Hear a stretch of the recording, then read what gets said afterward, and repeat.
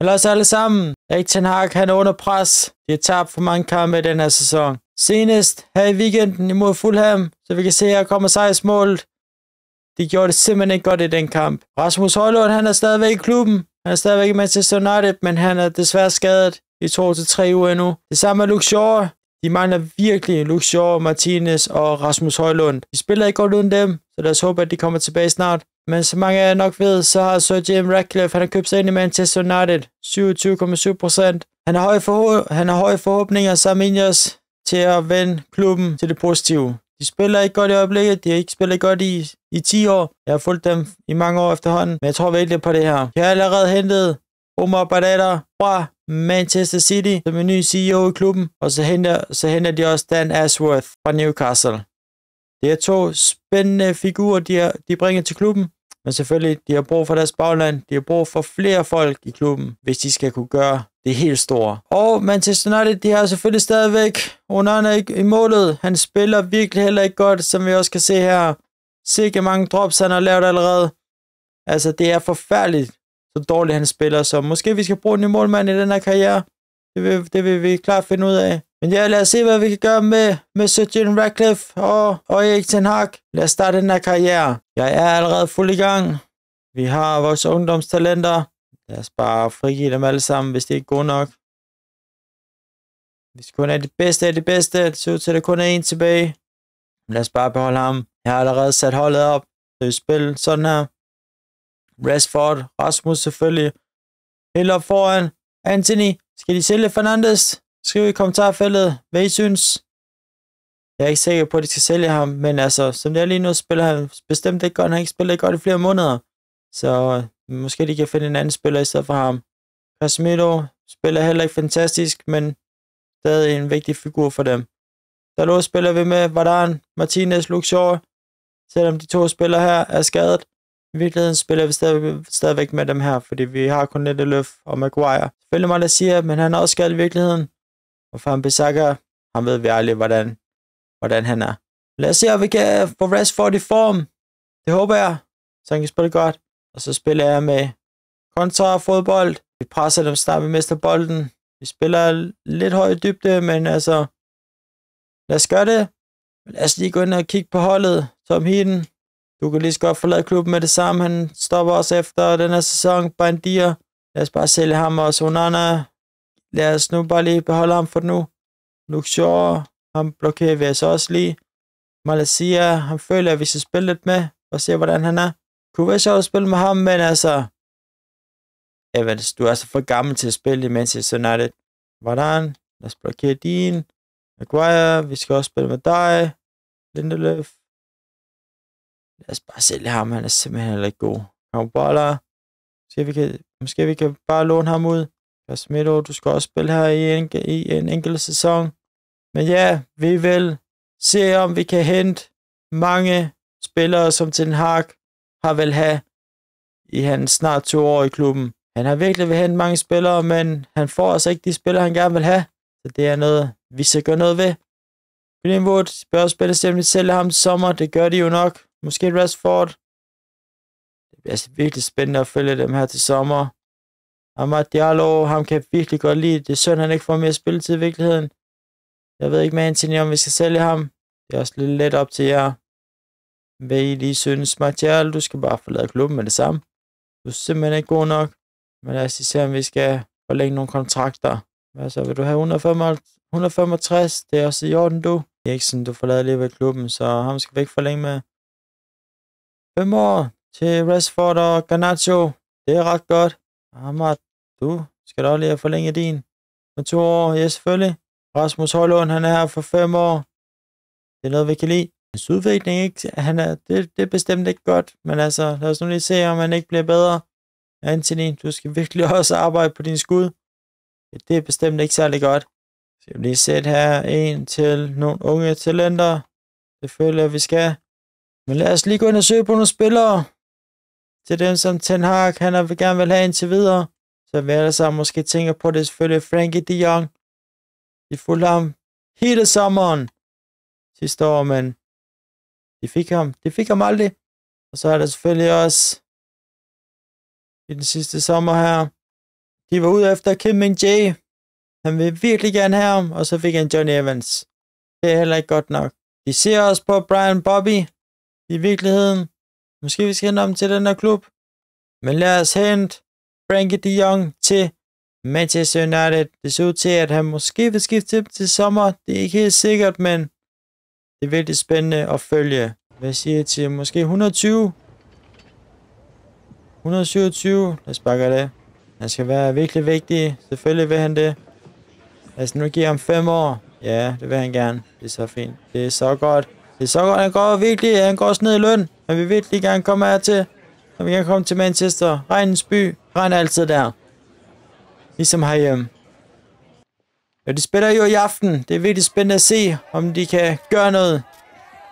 De skal virkelig komme tilbage efter et pinligt nederlag mod Fulham i weekenden.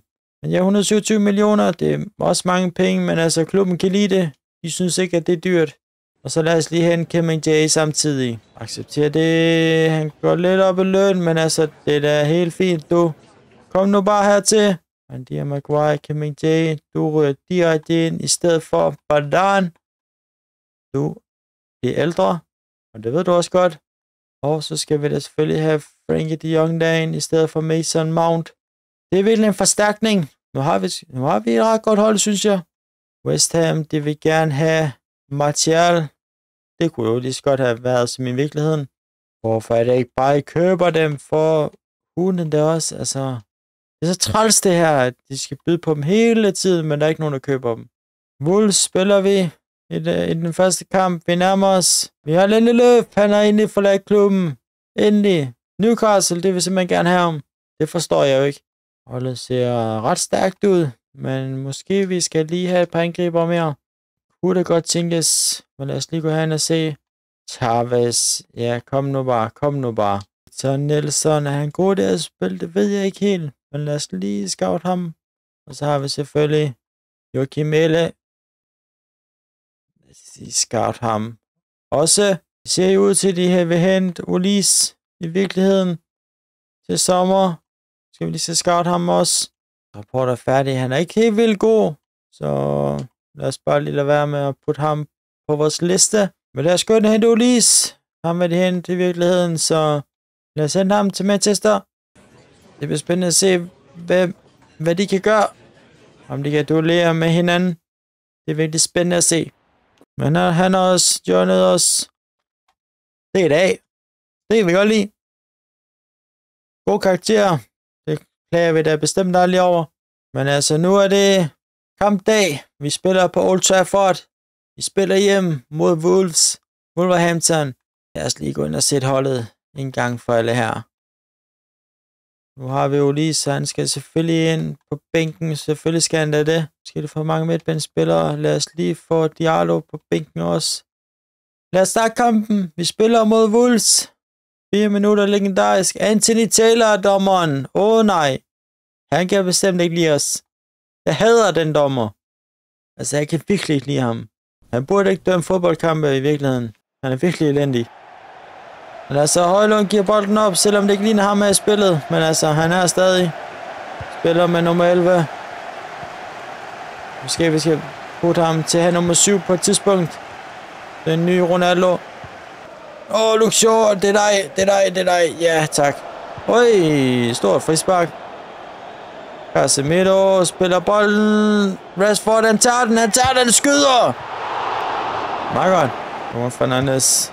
Det er meget godt, det er meget godt. Ej, kom on, kom nu, kom nu, kom nu, kom nu. Frankie de Jong.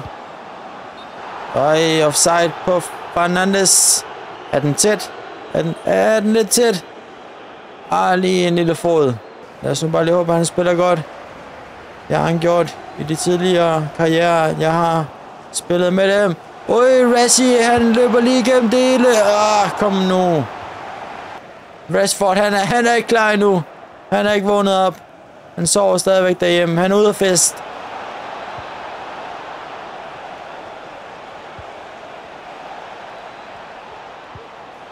Nej! 1-0. Wolves. Onana. Han kan simpelthen ikke tage den.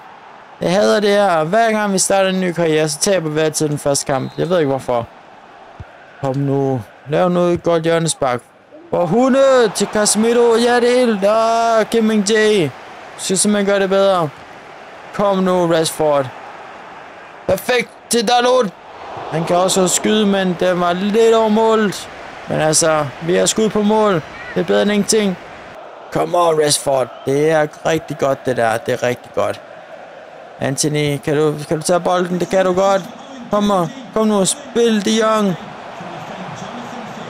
Spil den ind over. Åh, hvem, er, hvem er det til? I hvert fald ikke til nogen af vores spillere. Hallo, tag den, tag den. Ah, kom nu, gutter. Kom nu, gutter. Jong, han er der til at redde os. Anthony, hvad er det? Hvad er det? Det er simpelthen ikke godt nok, Anthony. Du er så ud, hvis du spiller sådan. Det er ikke som, vi spiller fodbold i Manchester United. Spiller vi altså ordentligt. Hvad? Sikke et frispark. Jeg havde frispark i det her spil. Det er simpelthen så elendigt. 2-0 nu. Det er ikke godt nok. Hvor tør folk, de er simpelthen ikke glade. Lad os håbe, de er mere glade, når jeg skal derover den 16. marts.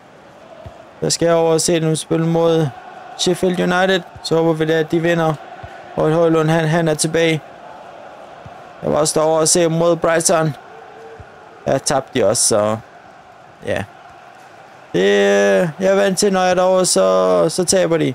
Men øh, den her gang håber jeg på, at de vinder. Kom nu. Kom nu. Det er kun to mål. Vi kan godt. Vi kan godt. Kom nu, gutter. Løb. Okay. Lad os nu lige tage det lidt seriøst. Det er helt perfekt, det der, De Jong. Virkelig godt. Ah, spil ham igen, spil ham igen. Tag den, tag den. Ja. Oj, det var ikke godt. Ingen kort. Anthony Taylor, han er... Han er flink nok nogle gange.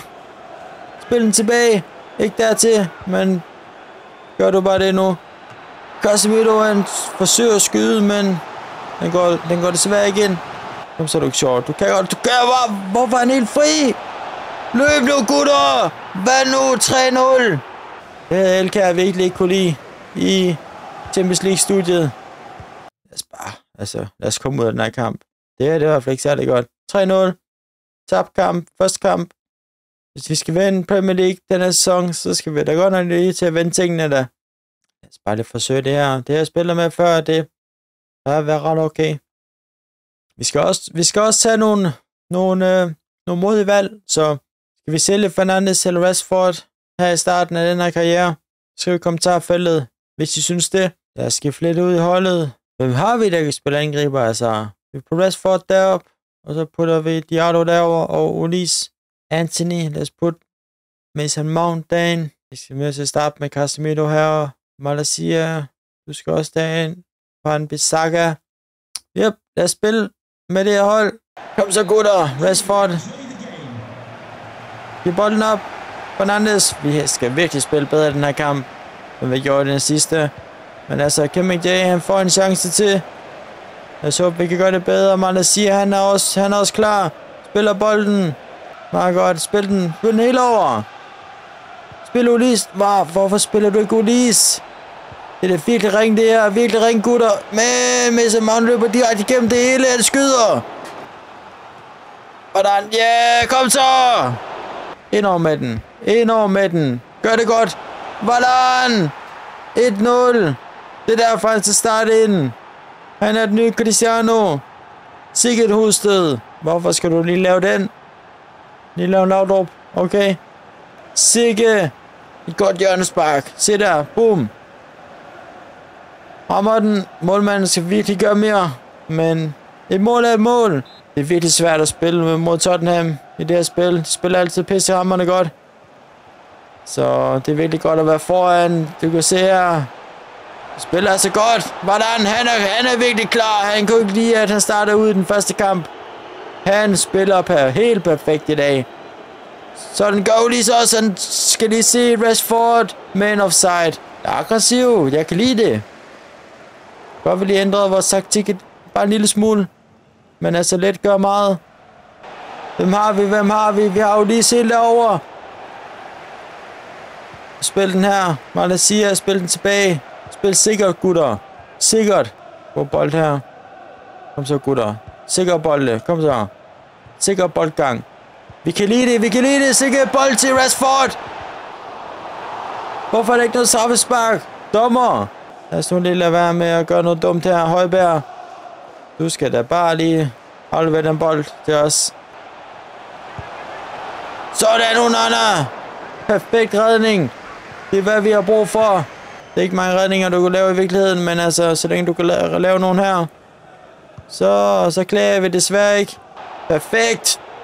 Og så fandt Bissaka løb med bolden, løb med bolden. Spil Ulis. Hvorfor er du offside? Kom nu lige ind i kampen. Så længe vi har bolden, og vi spiller godt. Det gør vi nemlig. Vi spiller virkelig godt. Spil den. Åh, oh, hvorfor spiller du den ikke helt over? Nu ser alle Manchester Uniteds kampe i tv. Ser selvfølgelig ikke alle sammen, når jeg er der, men altså, når jeg ikke er der, Paul Trafford, ser alle deres kampe, så ja, jeg er vant til at se dem spille, og de spiller desværre ikke godt i virkeligheden. Det er svært at se deres spillestil. Den ændrer sig rigtig meget. Men øh, ja, de er, de er gode til bare smække McTominay ind i feltet, og så håbe på, at han scorer et mål eller to. Det er virkelig godt blokeret, det der. Men jeg kan ikke lide Manchester United. Er I stor fan af dem? Lad mig vide i kommentarerne, hvad I synes om klubben og det nye partnerskab, kan man godt kalde det, ejerskab med Sir Jim. Radcliffe, Indias. De gør det godt indtil videre, men selvfølgelig, de har ikke taget de helt store beslutninger endnu. Udover selvfølgelig at hente nogle store hoveder til klubben, men de skal stadigvæk tage nogle gode beslutninger. Det bliver spændende at se, om de ændrer i træneren til sommer. Om Ten Hag kan stadigvæk er der, eller om de måske skal have Zidane ind. Det bliver da ret spændende. Kom så, kom så, Rashi. Hvorfor spiller du den? Kom nu, gutter. Lad nu være med at blive låst ned, altså. Spil bedre. MJ, du skal virkelig bare tage dem ned nu. Tag dem ned, tag dem ned. Lad være med at spille den ind over. Lad være med at spille den ind over. Hvordan han gør det godt igen. Han spiller virkelig godt i dag. Kom så, Diallo. Du kan godt... Du kan godt løbe hurtigere end Proto. Spil ind her. Fernandes. Han skal se Rashi. Spil den over. Spil den helt over. Ja, det er det. Meget godt. Spil den ind over nu. Okay. Malaysia, kan du skyde? Han forsøger. Ahmad. Spil den til Fernandes. Kan han skyde ud fra? Han forsøger. Som sædvanligt. Langt over målet. Garnacho McTominay. Lad os lige putte Maguire ind os. Tag den. Det er meget godt. Kom så. Ulis. Hvad vil du? Hvad vil du? Spil den nu bare tilbage. Det er meget godt. Spil, spil Eriksen. Han vil gerne lige ind og skyde. Han vil gerne lige have et skud på mål. Ja, han forsøger. Det er okay. Eriksen. Det er helt okay. Tag nu lige bolden. Bare lige lidt. McTominay, så lav der frispark. Få det gule korp, som du plejer. McTominay, tag ham ned. Nej, Maguire, det er godt. Helt vildt godt, det her. Spil, Fernandes. Det er super godt. Spil Garnacho, ja. Perfekt. Løb med bolden, løb med bolden. Spil nærmere til Eriksen. Eriksen, han kan, han kan skyde herfra. Han kan, også, han kan også godt score, hvis han har lyst. Men det er han så bare ikke. Den er virkelig god til Maguire. Ej, ej, ej, det var virkelig tæt på. Men der er den. 1-0 til os. Vi kører dem over, gutter. Det var virkelig godt med tre point. Meget vigtigt, hvis vi skal blive i kampen. Men stadigvæk det er tidligt på sæsonen. Men ja, tak fordi I så med. Det har været en god episode indtil videre. Husk også at subscribe til kanalen. Det vil jeg virkelig sætte pris på. Kommenter nedenunder, hvem I synes, vi skal hen som angriber til at support Højlund. I kan bare skrive i kommentarfeltet. Tak fordi I så med. Vi ses i næste episode.